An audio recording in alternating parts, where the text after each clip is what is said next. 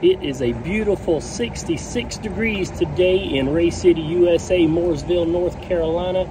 DJ Wayne getting ready to get out, hit up some race shops today. So I'm filling up the truck. I'm getting me filled up with a free Monster Energy drink from Speedway. We bow down to no sponsors, that's right.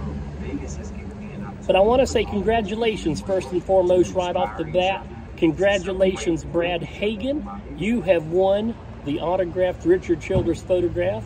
The last NASCAR video that I posted was the Darlington Raceway Museum. And at the very end of that, I gave away an autographed Richard Childress photo. And Brad Hagan, you're the winner. Congratulations.